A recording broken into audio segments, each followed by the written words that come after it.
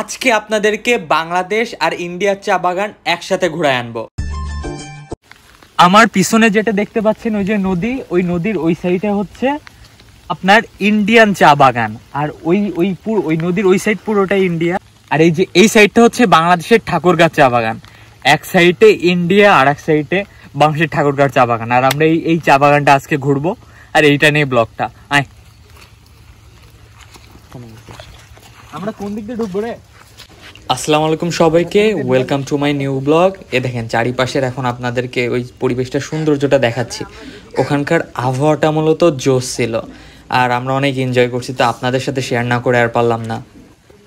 আমরা এদিক দিয়ে ঘুরে যেতে চাইছিলাম চা বাগানের ভিতরে কিন্তু এদিক দিয়ে ঘুরে যেতে গেলে আমাদের অনেক সামনে যে ঘোরা লাগবে এর জন্য আমরা এই যে মেইন রোড দিয়ে চা বাগানের ভিতরে ঢুকবো। আয়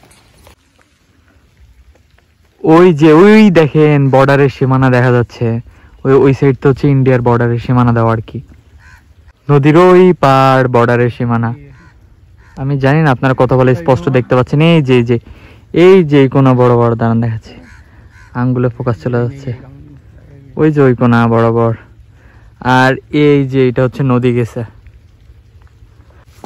বেশি জুম হয়ে আছে জুমটা সরাইলাম। যা যা সামনে আগে সামনে আগে।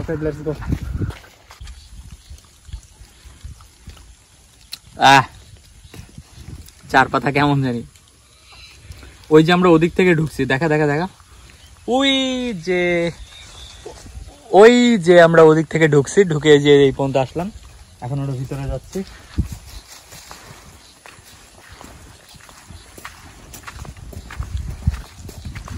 আজকের ইনভারমেন্টটা মানে স্যাঁতস্যাঁতে টাইপের সারাক্ষণ বৃষ্টি হয়ে যাচ্ছে।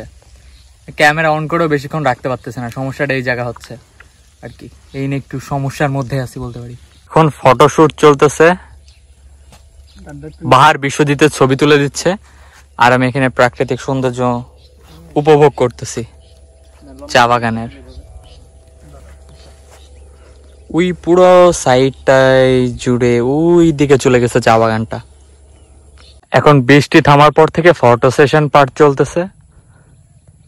পাহাড় তার ক্যামেরা বের করতে পারছে বৃষ্টি থামার ফলে। এখন ছবি তোলা হবে। মামা টাকা টাকা টাকা আমরা তিনজন একসাথে আসছি এটার একটা ভিডিও লাগবে না? তোমরা কিছু বলো বাহার? ও দুজনেরই নো কমেন্টস আচ্ছা ঠিক আছে। ট্যুরটা কেমন ছিল তাই বলো? Enjoyable and happiest. এই চা বাগানে ঢোকার পর থেকে প্রচুর পরিমাণে পিঁপড়ার কামড় খাইছি ছবি তুলতেছে আরে ভাই। এখনও কামড়াচ্ছে। এখনও কামড়াচ্ছে। এখনও শেষ হয় না এটা। তোমাদের এই বিষয়ে কোনো মন্তব্য? এর পাশাপাশি বৃষ্টি ভালো হইতো। তার পাশাপাশি ক্যামেরা একটু ঝামেলা দিতেছিল আজকে। তো এই ভিডিও এই পর্যন্তই। এই ছিল আমাদের পুরো ঠাকুরগাঁর ট্যুর এখন আমরা বাসায় চলে যাব। ভ্যান দাঁড়ায় আছে। তো এরপর আমরা ক্যাম্পাসে চলে যাব। প্রথমে দ্বীপের বাসায় যাব, যে ওখানে খাওয়া দাওয়া করে ক্যাম্পাসে চলে যাব। ফোনে বেশি চার্জও নেই ভিডিও করতে পারব না, তো যতটুকু করতে পারছি এতটুকুই।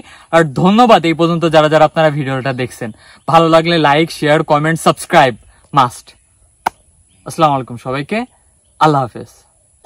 তো এখন ভ্যানদে যেহেতু চলে যাচ্ছি, ভাবলাম এই যাইতে যাইতে আপনাদেরকে পুরো চা বাগানটা দেখাতে দেখাতে যাই।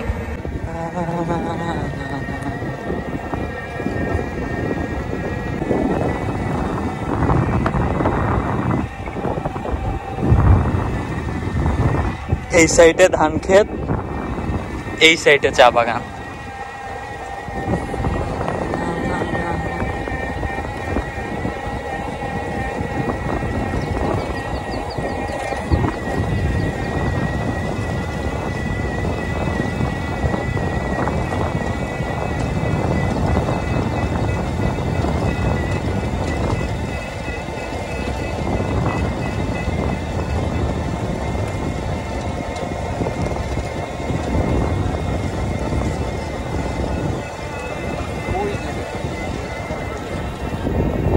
যে ওই দেখেন, ওইটা হচ্ছে নদীর ওই সাইডেও কিছু আছে। মানে নদীটা বাংলাদেশের ইন্ডিয়ার মাঝামাঝি পর্যায়ে যে আবার বাংলাদেশের পুরো ঠাকুরগার পুরো এলাকা জুড়ে গেছে।